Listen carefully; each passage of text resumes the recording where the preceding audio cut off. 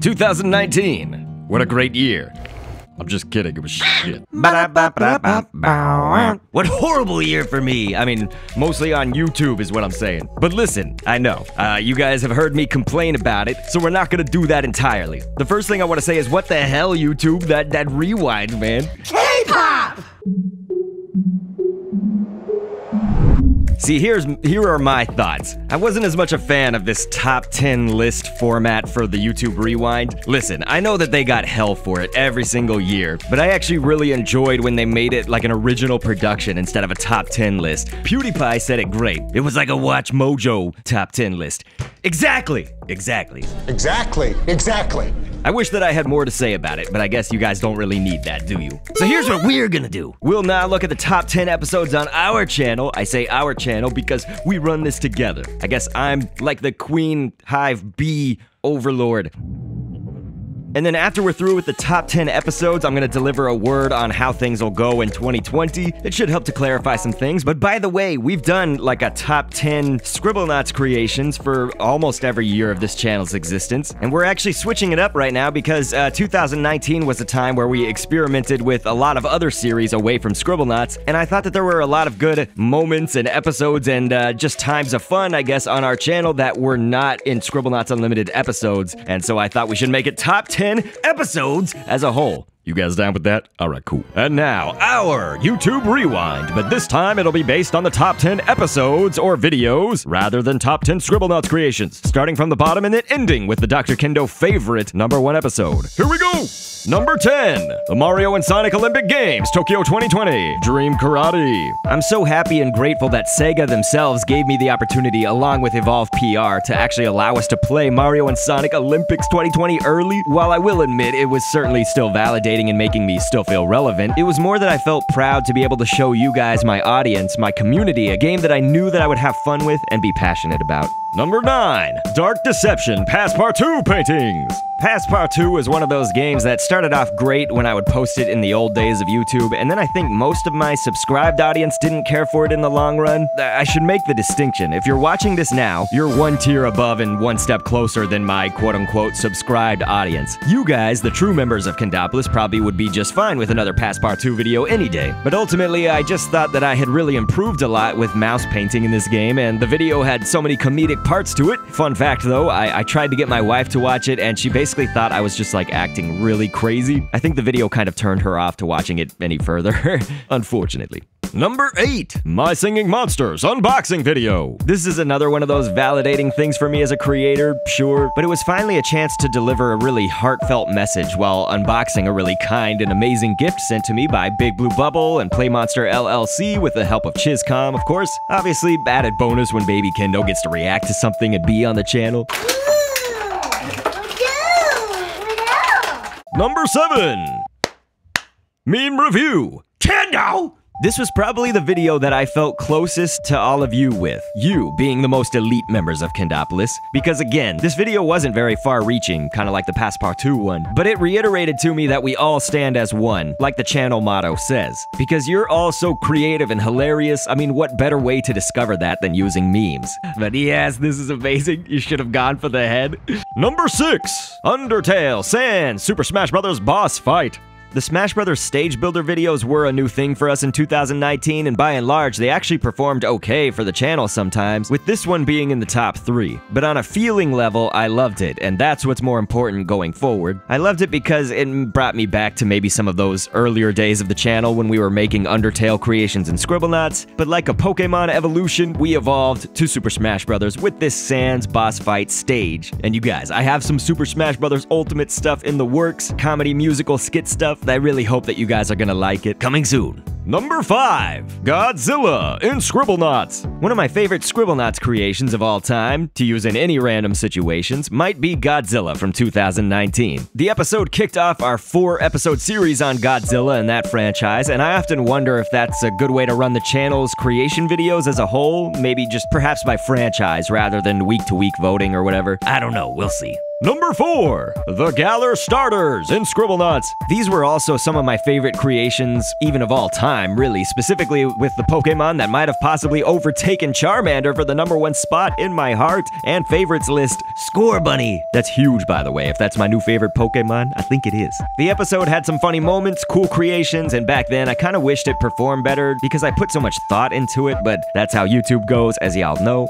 Number 3. Super Smash Kendo Ultimate. I actually really love the Kendo crossovers like anytime, and I'm contemplating doing like a whole month of them one day, you know, just the entire month is those. But this one was extra fresh because of the skit at the beginning, bringing back that Scribble Ventures feel, but with an upgrade, I guess. Well, good thing I'm here! Kendo the Hedgehog! No! Don't you understand? Forget Avengers! This...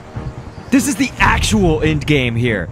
Number 2, Craft Warriors Team Sonic Army. I am forever grateful to a viewer named Elijah, whom I have no idea if he's still viewing these days or not, but he showed me the game, Craft Warriors, and I instantly appreciated that game on many levels. But being that our channel largely retains the whole creativity and creating characters aspect, the Team Sonic Army was my first foray into this game, and that episode brought me so much joy and so much fun, and I hope it did the same for you. And the number one video, as told by Dr. Kendo himself, is is the Ode to Galar music video.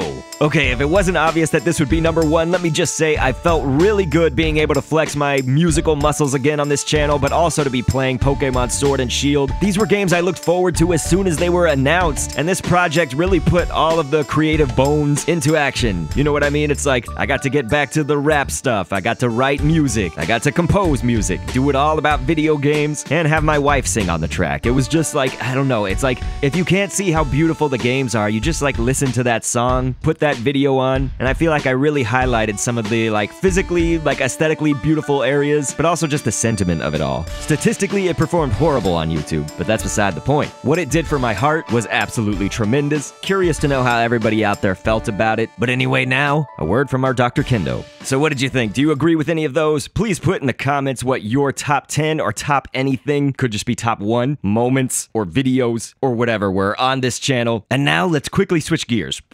What a terrible transition. So this is just a time to sort of talk candidly about YouTube. You know, last year I was saying like we're in big trouble, the system is changing and whatnot. Boy, did I not know what was gonna happen in 2019. YouTube changed even more. So I used to get 75% of my traffic through suggested videos. Uh, you probably know what that is, but on mobile you just scroll down and it's video suggested to you on a desktop or whatever. You just go to the right of the screen and they put a whole bunch of videos. Now it's like, let's say you watch late night talk show hosts or whatever. You could be watching Dr. Kendo and then be suggested videos from late night talk show hosts. How are those two things related?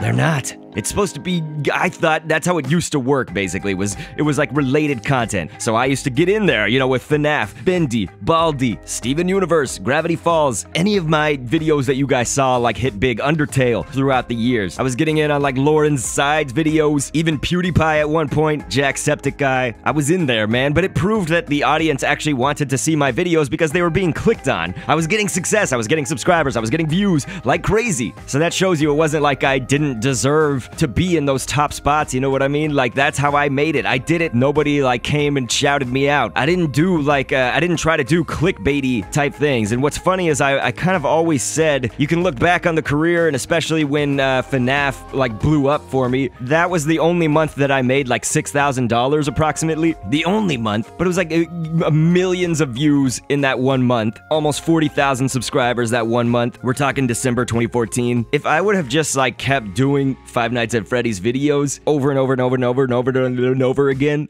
I probably would be where some of these other people are because I started out at the same, I guess, area as like Smike, Super Horror Bro, Dawko, Fusion Z Gamer, all those guys. You know, they're in like the 900,000 million range, you know, all that stuff. I'm not necessarily saying that I made a bad move because I loved it so much. You know, I really did like FNAF, but I liked everything else that we did. I liked being exposed to the other series and the other franchises. But the point is, I didn't try to like do that just because it would make money or because it would give views. I would like listen to the comments, but some people were really extreme, you know, like I would do just two videos or three videos in a row that were Five Nights at Freddy's, and they're like, God, Dr. Kendo, do something else. You're trying to sell out and stuff like that. I never sold out, okay? I constantly thought about, you know, how can I do this while staying myself? It wasn't in my nature to just do something because, oh, it'd be easy. Oh, it would sell out or whatever like that. You know, I there are people that I know in this space in content creation that try to do like a minimum amount of work possible. When did I ever do that on a long-term basis? The only time if I ever had to do that was like, oh, I had to do a speed create because I'm going out of town on me and my wife's anniversary. You know what I mean? It's like for a damn good reason, I would do it. So what is the point here? In 2019, very recently, so at the end of November, going into this month as well, I actually was able to revitalize my little channel, youtube.com slash drkendo. That's just Dr. Kendo. Uh, something I'm really passionate about. Some of you guys know, some of you don't, was uh, Pokemon Go. I love that game, have loved it every single day since 2016, since I started. Absolutely amazing. So I've been putting Pokemon Go content on there this year. And so mid-November into now, that channel actually got monetization. Like I did some videos that were just really dope and hit it big, quote unquote. We're not talking huge. We're just talking big enough to get the monetization standards. And so now I'm trying to put content over there and this channel can now sort of be like what I'm saying is that allows me to then make this channel be whatever I want for the projects, you know, because we've been doing Scribblenauts for seven years. Some people are tired of it, uh, clearly just by the analytical numbers, but then some of you still like it. So I was like, I want to keep doing it if we're having fun. That is the goal. Before I get to the goal, actually, I just want to say it's like what I was going back to before is people doing minimal work or, you know, doing like low effort, minimal editing kind of videos, you know, all that stuff. Like they either make it huge or they like still do better than like some of my videos did by the numbers on Dr. Kendo commentaries in 2019. I'm mostly just talking to 2019. You know, like I'm trying lots of stuff that I felt was creative, hard work. I put in the time, put in the effort. And so then on this smaller Dr. Kendo channel, I did a Pokemon Go raid. I just had two screens raiding, no commentary, no music, just literally the game's sounds of a new legendary raid boss in Pokemon Go. And that video like did better than half of the videos that I've uploaded recently.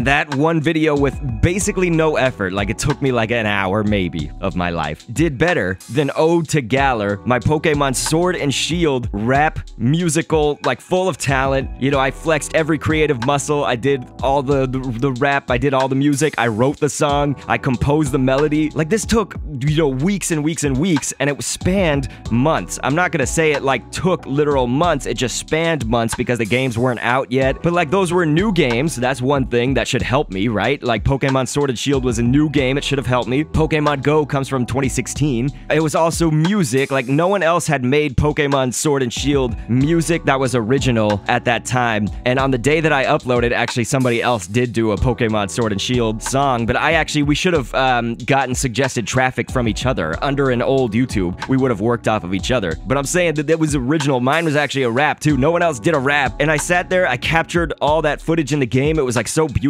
Like, tell me that that song sucked and that music video sucked. Like, people loved it. People on Twitter loved it. Wherever I put that video, people love it. They look at it, they're like, damn, this is good. Or they can at least tell that I put a lot of effort into it. Just real creativity, I guess. So what I'm saying is that, like, you know, you could upload on YouTube a video of just a raid boss battle and it does better than a rap, like, beautiful song that you composed and worked on for months on end, I guess. You get the point? That's how screwed up YouTube is. And that's why I'm gonna move forward in 2020. I'm finally getting to the goal here. We are rebranding me. I'm gonna be the don't give a F guy, you guys. That's how I'm rebranding it. I guess if we need to be family friendly, we'll say uh, Dr. Fun or something. All I'm focused on is what can we do that's fun for the community, you guys specifically. That was always something I tried to do. I said, I want to connect with you guys more. We made the Discord. I think we did it, but when I was focused on like, oh, okay, that's not really gonna get views, focusing on that kind of stuff, views and subscribers and all this, it doesn't make me happy. It doesn't make you guys happy. Like, the, the, the thing is, we need to do what makes us happy, right? And uh, sometimes that means that we're not gonna do Scribblenauts videos, but you've already had that kind of experience the last few months. I've been loving these live streams. We're gonna do more of those Pokemon Sword and Shield live streams. Maybe other games, I don't know. Do you guys want live streams? I'm always asking for y'all's opinion, and I always need it. So it's always welcome. Somebody in the Discord was like, hey, you should like do movie reviews. So I'm just gonna review a movie. It's just gonna be random. We're just gonna have fun with it. All right? We're just gonna have fun with it. Have fun with it. So one last thing, if I make a video like this and I say you guys like are doing something bad, I actually don't really mean the people in the Discord and the people who are like the most loyal. There's like 300 to 500 of you I think that are like super down with whatever we're gonna do. We, we are going to band together. And then there's like 80 of you on the Discord or 100 that are like the super super tight. And then there's even people down there if you drill it down further that are like the most elite. Loyal to Kendopolis, we all stand as one types. You guys are the ones. Y'all determine where this goes. Because just like those Five Nights at Freddy's days, I listen to the comments. If anybody was to say that I don't like pay attention to my fans, that would be the farthest criticism away from anything that I could ever do. I have answered every single comment that was not a request on this channel that I got. Sometimes YouTube put them in spam or didn't notify me that I got a comment. Sure, one could slip, but I bet I have like a world record of how many comments I've answered. I, somebody look into that. YouTube, I know you're watching this. Somebody out there from YouTube, Susan. And so because we don't know what's gonna happen with COPPA as well coming up in 2020, my channel's probably extremely like vulnerable to that if it's gonna hurt us. I don't know. We're gonna let loose. I'm the don't give a F guy. I'm just gonna be all aloof. Oh, I lost a thousand subscribers this day, which I did by the way. YouTube purged them. I was at 199k and then it went down to 198k. Who cares? Who cares? The don't give a F guy. I hope that you guys like him. At the core, always gonna be Dr. Kendo. Not gonna change who I am. I love you. If you are like a super Utapam, son of a Greninja, elite member of Kendopolis, thank you. From the bottom of my heart, thank you. We've done a lot of things. I think even if my time is up of like quote unquote fame, look at all the things that I've accomplished. We did hit 200,000 subscribers at one point. I have my own Dr. Kendo controller. I'm a character or gear objects in three different video games. Like that's amazing. Over the years, I got to like exclusively announce news about indie games. I've been to a ton of events and whatnot as like a special media guest or whatever, content creator guest. We got the silver play button, 60 million or more overall video views overall on the channel. Like, this is amazing. You know what I mean? That's really cool. And so, because I run this channel, that's one thing, but I said it at the start of this we run this channel together. We all stand as one. So, that was your accomplishment too. But I mean it from the bottom of my heart. And so, thank you so much for viewing.